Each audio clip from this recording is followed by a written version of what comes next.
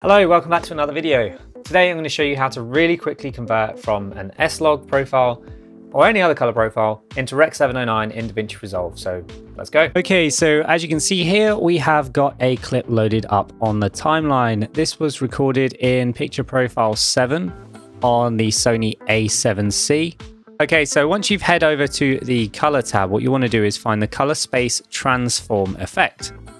Drop that onto a node on your clip and from here we can start tweaking things.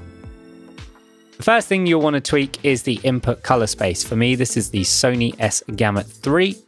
This is all dependent on what picture profile you use. And your input gamma, for me, this is S-Log 3, but you know, this can work with anything. If you're using a Blackmagic camera, then you'll have the relevant Blackmagic RAW settings to tweak. And that's it.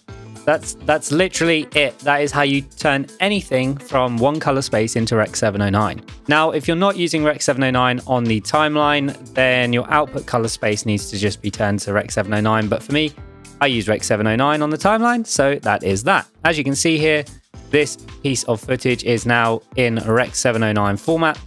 Granted, this has slightly higher saturation because I have a slightly amended picture profile 7. Now, obviously this works for multiple different color spaces, but for this specific purpose, we're going to use that as an example. From here, you can go and proceed to color grade as you see fit.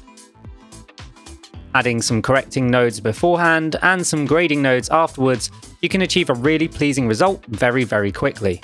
All right, that is it for this video. Don't forget to like, comment, get subscribed, like the bell to stay up to date for whenever I release a new video. And until the next one, see ya.